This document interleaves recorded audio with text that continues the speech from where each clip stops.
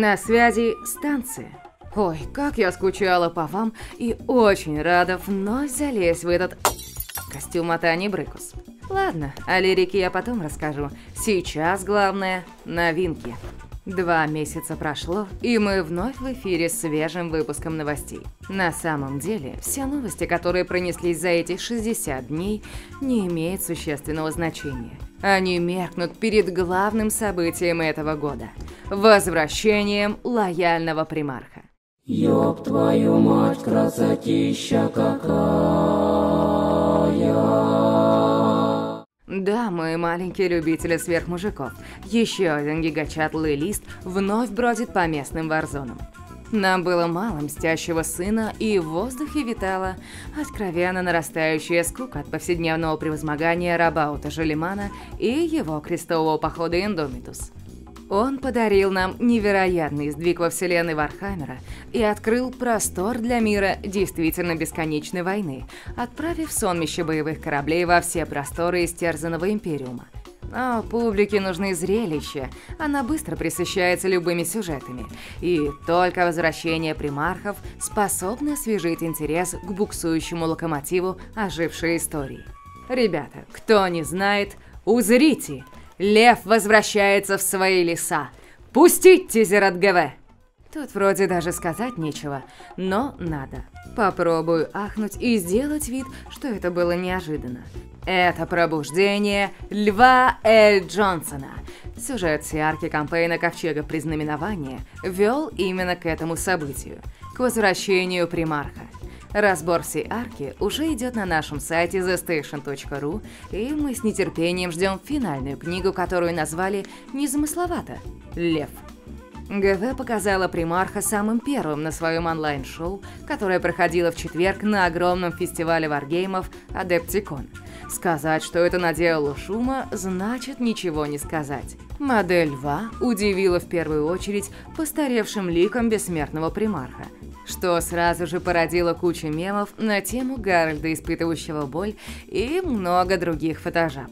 Почему произошла такая перемена, мы, скорее всего, узнаем в финальной книге campaign а. А может, сработает классическое «что ни скажу, все бэк», и объяснять нам ничего не будут. Тогда останемся с мыслью, что Лев спал, в отличие от Жиллимана, который был в стазисе.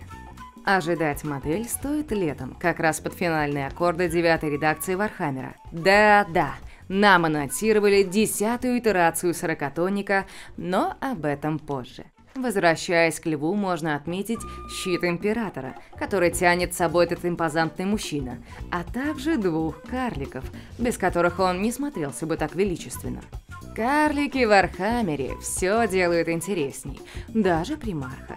Впереди нашего лукового рыцаря ожидает поединок с Ангроном, который тоже щеголяет новой миниатюрой. Чем закончится это? Само собой пресной ничьей. Один бессмертный, второй уже пластиковый, что синонимично. Но можно будет насладиться глуповатыми диалогами. Все это уже очень скоро, ведь финальная книга Ковчегов Предзнаменования выходит в мае. Как ГВ представит возвращение льва и как оно изменит общее направление сюжета? Запустит ли это новую гражданку или все скатится к игре в добрых и понимающих друзей? Это можете предположить в комментариях. А раз вы уже отдышались, то пора идти дальше. Ведь Адептикон вышел просто фантастическим на анонсы.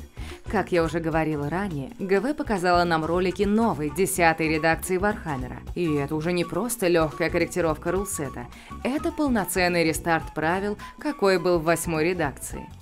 Пока вы будете наслаждаться четырехминутным роликом превозмогания ультрамаринов, я расскажу про основные изменения в игре. Теперь, когда поток новичков со старта восьмой редакции превратился в тоненький ручеек из-за неимоверно перегруженной девятой редакции, ГВ решилась на перезапуск. Мы ждали его в одиннадцатой редакции, но сейчас все ускоряется, в том числе и циклы редакций. Основным лейтмотивом десятки станет девиз «Упрощенный не значит примитивный». Или, если перефразировать, «Тупой, но прибыльный». Мы распрощаемся с необходимостью носить с собой по пять книг и разбираться в нюансах, как Тайлер в Ересе. Теперь все правила армии будут на двух страницах. Так они обещают. Кодексы тоже изменятся, и покупать больше одной книги в редакцию вас не заставит. Тут сомнения возникают, но поверим пока на слово. В игру вернутся универсальные правила. Разнообразия меньше, зато вопросов поубавится. Что-то подобное было на старте седьмой редакции, и по нашей памяти первый год действительно работало. Уже показали лист правил на гаунтов Тиранит, и это можно назвать движением в сторону века Сигмара. Я понимаю, что вы уже достаточно припотели от этих слов, но надо терпеть. Пока подробностей не очень много, но есть приятные моменты. Правила на старте будут бесплатными. Не нужно будет искать индексы и прочие дорогие книжки с правилами. Все теперь можно будет найти в интернете и бесплатно. Притворимся, что раньше это было табу. Игру обещают сделать гораздо живее, и вместо 4-5 часов на партию у вас уйдет 2-3. При этом вы также будете совершать важные решения и баловаться высокими ставками. Я уже говорила, этот рестарт в первую очередь для новичков. Поколение тинейджеров, которое хотело заинтересоваться Вахой, уже на крючке. Подросло новое, и теперь надо работать с ним. Поэтому особенное внимание уделяют боевым патрулям стартовым набором для фракции Вархаммера. Если раньше он представлял собой лишь способ подешевле влететь в Вархаммер и сразу искать пути на докупку коробок для большого формата, то теперь это почти самостоятельная игра. Каждая коробка будет сбалансирована относительно другой, и правила будут отличаться от большого Вархаммера. Будет ли поотрядная активация, неясно, но чего точно будет больше в десятке, так это реакции на действия оппонента – ГВ медленно, но верно уходит от нафталинового формата полного хода, добавляя развлечения оппоненту во время ваших действий. Все эти мысли хороши на бумаге, но как они зайдут в реальности, покажет это лето. Старт редакции по старым слухам 26 июля. Он откроется не только возвращением льва, но и стартовым набором. Говорят, что он будет называться «Левиафан», и общая линия сюжета – это Третья Тиранитская война. Ранее же эти слухи нам рассказывали о составе коробки и, судя по трейлеру, это полностью правдивая информация. Нас ждет набор конкретных тиранидов против условных ультрамаринов. Как это было уже в четвертой редакции. За тиранит будут отдуваться некий крылатый ультравоин, летающие эмиссары королевы Норн, три Виктора, биоворы, новые термаганты-хармаганты свежие тентакливые монстры среднего размера и Крикун-убийца. Причем Крикун – это амаш на самого первого корнифекса в Архамере. 30 лет спустя этот парень смог найти себя в новом времени. И это прекрасно. Остается только утереть алтфажные слезы. Гаунты в своем редизайне прекрасны. А больше нам ничего жутчего не показали. Что нас ждет на стороне десанта, самое важное – это терминаторы. Нет, не примарис гравис монстры. Это классические терминаторы. Правда, внутри могут быть примарисы. Да, ГВ посчитала, что прошло достаточно времени, и можно уже отказаться от плана распродать все запасы карликов ферстборнов. Тем более убить каноничные образы терминаторов – это выстрелить себе в коленку. Проще объединить типы космодесанта. Теперь нет разницы, кто сидит в термодоспехе. Ведь 30 сантиметров роста – это пустяк, а Коул – это не Ивлеева. Гавайт даже написала, что Архимагас не смог улучшить конструкцию древней брони. Вот заставить танк летать – это как... А лист брони приварить на тушу – это Эребор. Новые терминаторы выше, краше и пафоснее. Но при этом это все те же терминаторы, которые в дизайне никак не изменились. Обидно за хаоситов только, потому что есть мнение про чуть меньшие размеры рогатых натуралов, если вы понимаете, о чем я. Компанию терминаторам составит отряд ветеранов-интерцессоров со знаменем, отряд огнеметчиков, группа ветеранов тиранических войн в Грависе и стрелковый дредноут Редемптор. Все клешни ему безбожно заменили на пушки. Эдакие ручки Акимба вышли. Набор обещает быть еще более сочным, нежели Indomitus. Если десятка и правда громко выстрелит, то мы увидим небывалый приток новичков. Ладно, с Вархаммером непозитивного будущего пока все. Пора навестить просторы века Сигмара. Тут есть чем порадовать всех любителей этой вселенной, так как на Адептиконе нам показали миниатюры «Воины городов Сигмара», или, попросту говоря, людей. Нет, нам не стоит ждать гульфиков, которые одобрил бы Клим Саныч, и не будет красивых отсылок на швейцарских наемников. Зато тут полно голливудских отсылок на высокое средневековье. Костюмы будто из какого-нибудь Робин Гуда с Кевином Костнером. И это прекрасно. Мы считаем, что модели вышли замечательными под стать новой вселенной века Сигмара. А это лишь рядовая пехота. Что же будет, когда мы увидим кавалерию, ветеранов и диковинные механизмы? Самое приятное, что города Сигмара делятся на многочисленные подфракции. Дизайнеры подчеркивают, что несмотря на наличие общего концепта униформы, бойцы будут отличаться в зависимости от племени, региона или мира, в котором они живут. Warcry разнообразие Бандхауса дает нам представление о том творческом просторе, который открывает релиз Downbringers для смертных воинов Сигмара. С нетерпением ждем выхода и анонса первых наборов для Warcry. Дату назначили на осень. Ну а если вам по душе больше что-то чуждое человеческому, то добро пожаловать в джунгли серафонов. Полномасштабный ремастер всех наборов для любимых ящериц. Тут вам и новый слан, который повторяет дизайн выходившего в прошлом году Краака. И его протеже на маленьком паланкине великолепный звездный жрец Скин. И новые завры, которым давно пора было освежить миниатюры – и саламандры, без которых ни одна армия Серафон не выходит на драку. Даже кавалерия, помимо совершенно новой скинковской, получила обновление в виде дуалбокса. И это я еще не упомянула о потрясающих караксигорах. Все модели теперь можно найти в новом пластике. Крысы гневно пищат в темноте и жалобно смотрят на полноценный апдейт фракции серафонов. Релиз будет поддержан выходом традиционной для ГВ лимитной коробки, которая будет включать в себя набор новых воинов, две новые коробки скинковской кавалерии и красавчика Слана. Помимо пластика, там будет новый батл том и, скорее всего, карточки. На кубики ставить не будем, потому что у ГВ с кубами последнее время плохо. Ждем выхода уже летом, к июню месяцу. Ну а когда еще выходить знойным ящеркам? Только в тепло, только в солнышко. Также состоялся анонс новых банд для Underworld и Warcry, так как ГВ теперь очень правильно дает правила на оба формата для выходящих групп приключенцев. Набор Weird Hollow открывает восьмой сезон Underworld и будет посвящен новым Динчитам и Штормкастам. Сказать, что модели выглядят потрясающе, это значит промолчать. От одних денщитов уже захватывает дух, а штормкасты совсем отошли от образа бронетабуреток и заигрывают с мистической тематикой. Ждем уже скоро, в самом начале лета или конце весны. Теперь немного о Ересе Хоруса и Килтиме, которые тоже получили пусть и не такие громкие, но все-таки анонсы.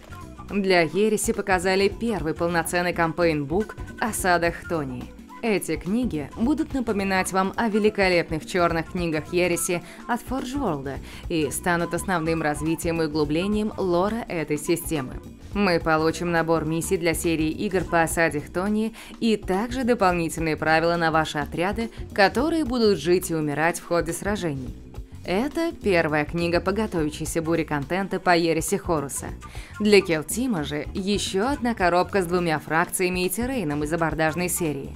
Gallowfall будет от и до посвящен вялому противостоянию карликов и козлов. Да-да, ГВ вспомнила, что бистмены всегда были неотделимой частью мира Вархаммера. Да и сюрприза большого нет, ведь был релиз чернокаменной крепости, показавший всем, что в пластике будут и ренегаты Милитарум, и козлолюди, и прочие уроды. В любом случае, теперь вы сможете разнообразить ваши игры и познакомиться с потешными зверолюдами в противогазах. На стороне Лиги Вотана, или попросту скватов, будет отряд кинов, у которого появится апгрейд спруя. И с ней вы сможете натворить дел. Например, заставить карлика летать. Может, даже против его воли. Или вооружить одного из скватов крутым смартганом. Как в «Чужих». В общем, разнообразить ваш отряд воинов по самое не балуй. Ну и до кучи вновь много-много отличного террейна в стиле Зона Морталис. Он действительно стоит своих денег, потому что выглядит потрясающе. Как и в предыдущих наборах, в нем будет пара уникальных элементов. Если раньше мы могли сделать отсек командования или оружейную, то сейчас можно создать отсек медиков. Хорошая коробка. Как и говорила, карлики все делают лучше. Ну и по сути это все новости на Адаптиконе. Согласитесь, это было ярко, громко, круто и очень воодушевляюще. Кстати, хочу заметить, что помимо анонсов и турнира, на фестивале был конкурс Golden Demon. Ставьте классическую музыку и будем вместе наслаждаться работами художников.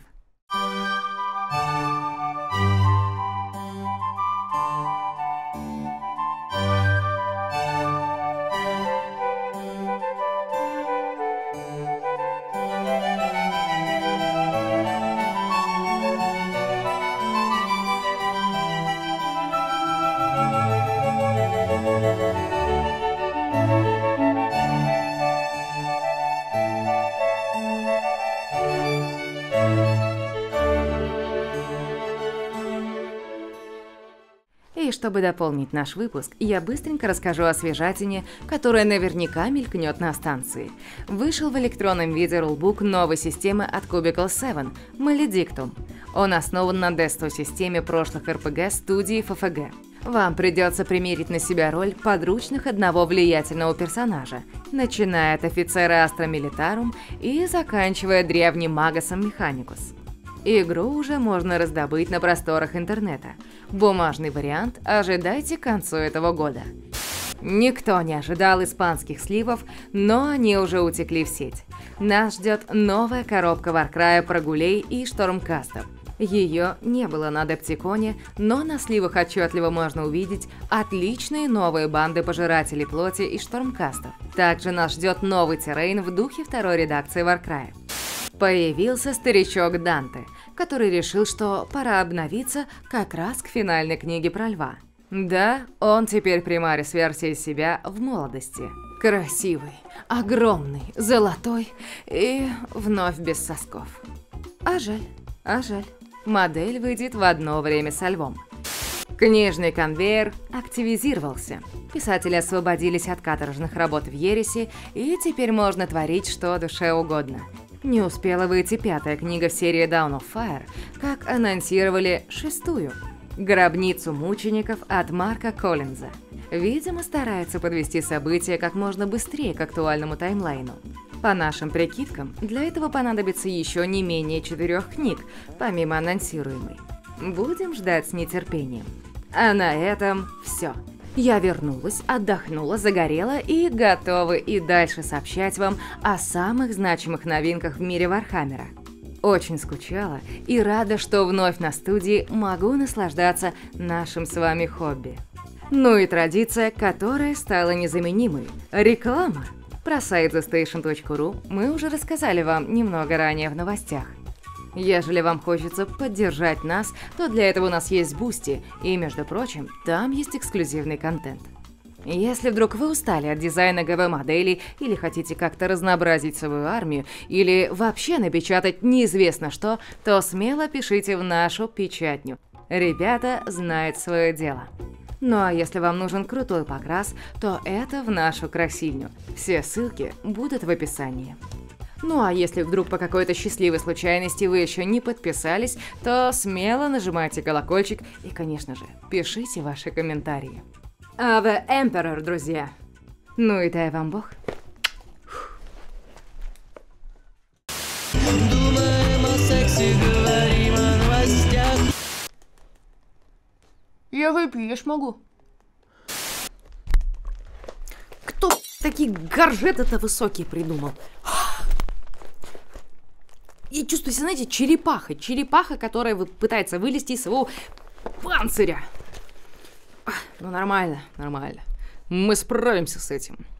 Ведь 30 сантиметров роста это пустяк, а Коул не Ивлеева.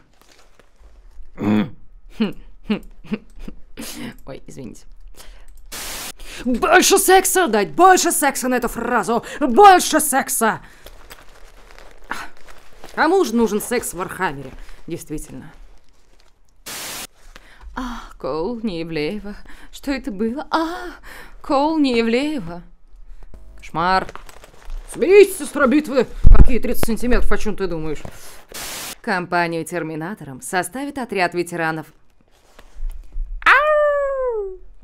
Релиз будет поддержан выходом традиционной для ГВ лимитной коробки, которая будет включать себя... А, что с моей рукой случилось? О. Эти книги будут напоминать вам о великолепных черных книгах Ереси.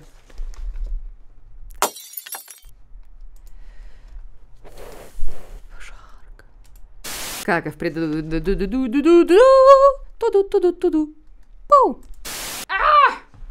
Я сделала! Я ж могла! Добби свободен! Добби хочет быть свободным! Помогите! Пожалуйста, кто-нибудь! Разденьте меня, пожалуйста. Пожалуйста. Я хочу раздеться. Пойдем, Добби будут раздевать. пойдем. Все. Все, Даже у меня крыша поехала от этого Пойдем. перегрева. Надо кнопочки всё. нажать. Не надо такие кнопочки нажимать. Все, все кончилось, все. 13 кубиков ей, да, спасибо. А, о! Ты зачем ударил? У меня же там кости. Санитары. Ай!